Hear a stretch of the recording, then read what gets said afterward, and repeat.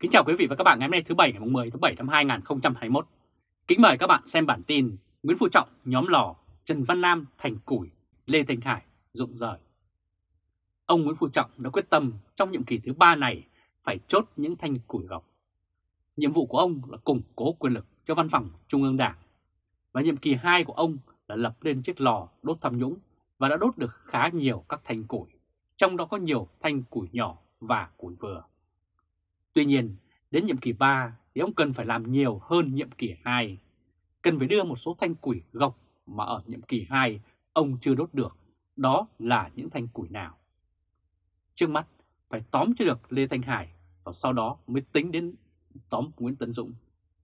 Chuyện tóm được Lê Thanh Hải hay không nó không thể được tính bằng tháng mà phải được tính bằng năm. Đã nhiều năm nay, ông Nguyễn Phú Trọng đã tìm mọi cách để quật cho được Lê Thanh Hải và những người trong nhóm ăn đất ở Thủ Thiêm. Tuy nhiên, cùi lớn thì mồi lửa nhỏ không thể nào đốt được và lò cũng phải được mở rộng chứ lò nhỏ thì làm sao mà đốt được củi gọc. Đây là hình ảnh Hội nghị Trung ương 3 khai mào công cuộc đốt lò cho nhiệm kỳ mới. Với thế lực của Lê Thanh Hải ở thành phố Hồ Chí Minh và thế lực Nguyễn Tân Dũng ở Kiên Giang, ông Trọng phải củng cố tay chân ở miền Nam cho vững thì mới có thể đốt được.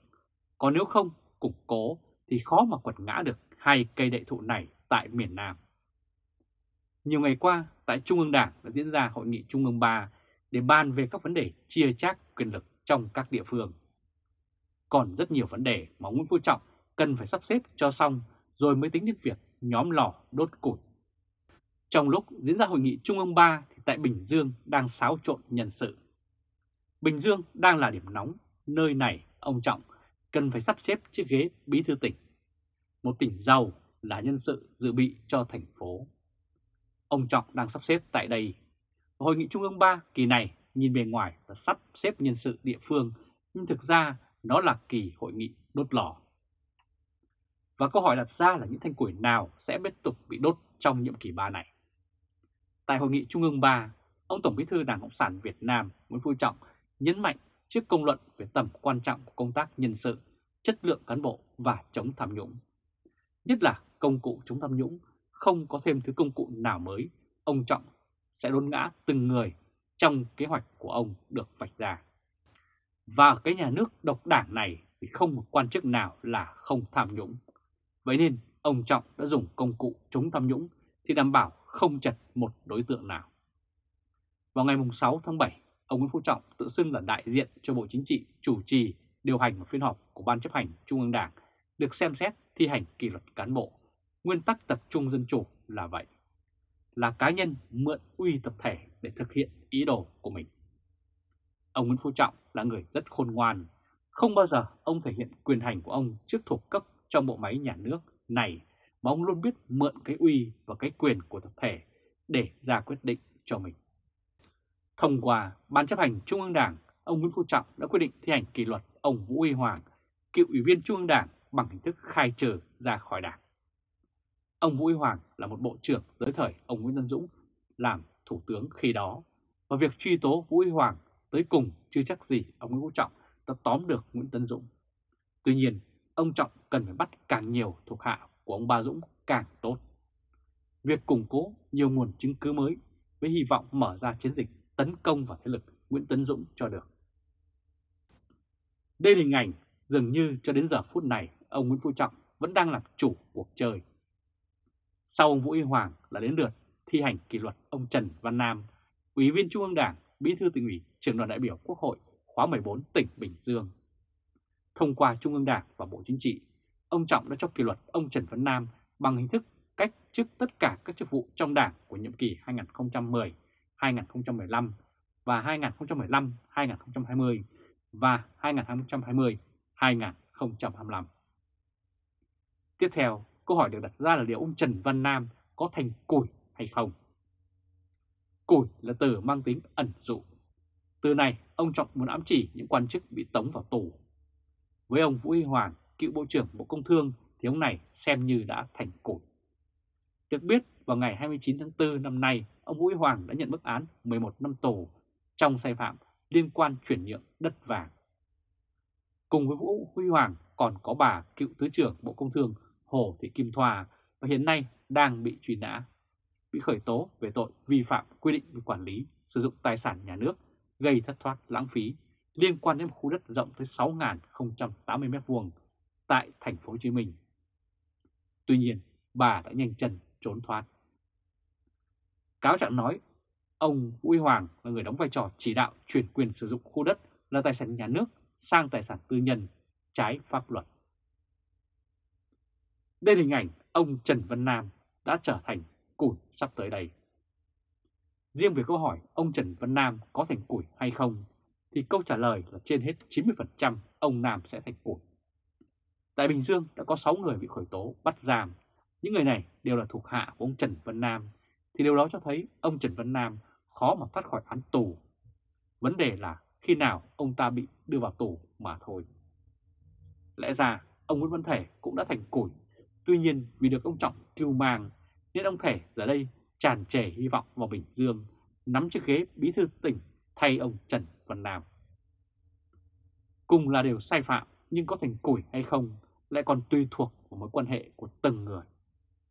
Với sai phạm nghiêm trọng tại Bộ Giao thông Vận tải, nếu ông Nguyễn Văn Thể không có quan hệ tốt với Nguyễn Phú Trọng, thì ông ta thành củi cùng với sếp của ông là Đinh La Thăng hay cùng với người đồng cấp của ông trước đây là Nguyễn Hồng Trường. Cũng liên quan tới đất đai, ông Trần Văn Nam bị cho là có các vi phạm liên quan tới một vụ án của một doanh nghiệp có vốn chi phối thuộc tỉnh Bình Dương.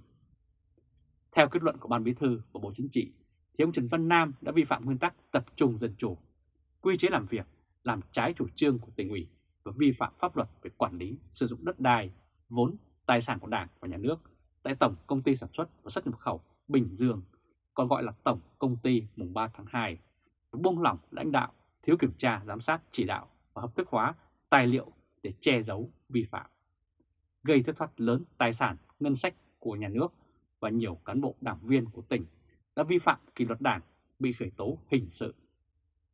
Truyền thông Việt Nam đã đưa tin như thế. Và cho đến đây thì câu hỏi tiếp tục được đặt ra là ai đang xanh mặt lo sợ. Vào ngày 30 tháng 6, Bộ Công an Việt Nam tiến hành khởi tố bắt giam 6 lãnh đạo và cựu lãnh đạo tỉnh Bình Dương liên quan đến vi phạm quản lý sử dụng đất đai, vốn tài sản của Đảng và Nhà nước tại Tổng Công ty mùng 3 tháng 2. Quyết định khởi tố của các bị can kể trên được đưa ra sau khoảng 2 tuần kể từ khi ông Nguyễn Phú Trọng chủ trì một phiên họp vào ngày 18 tháng 6 thi hành kỷ luật một số cán bộ lãnh đạo, nguyên lãnh đạo của tỉnh này.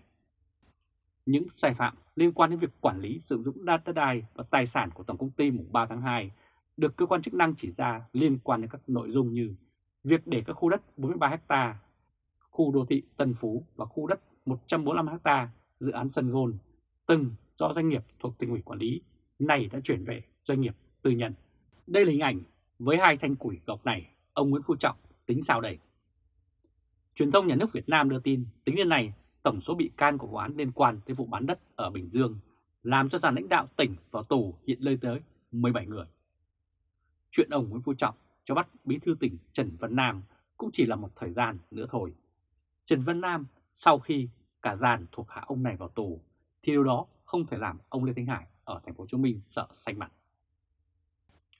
Và Bình Dương thì sát bên thành phố Hồ Chí Minh, lừa từ Bình Dương rất dễ bén sang thành phố Hồ Chí Minh.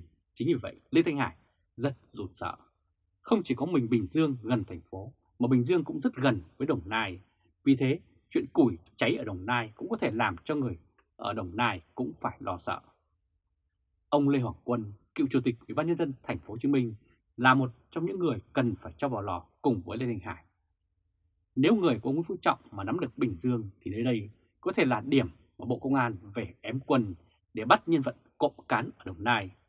Có thể lắm. Và chuyện đấu đá nội bộ của Đảng Cộng sản Việt Nam cứ như thế, không có điểm dừng. Quý vị và các bạn vừa theo dõi chương trình truyền hình trực tiếp của Lê Trung Khoa, Thời báo chấm ngày hôm nay thứ Bảy ngày 10 tháng 7 năm 2021 với bản tin Nguyễn Phú Trọng nhóm lò Trần Văn Nam thành củi, Lê Thanh Hải dụng rời. Quý vị và các bạn hãy chia sẻ video này cho nhiều người biết và bấm nút theo dõi YouTube và Facebook của Thời báo chấm để luôn được cập nhật những bản tin mới nhất, nhanh nhất và trung thực nhất.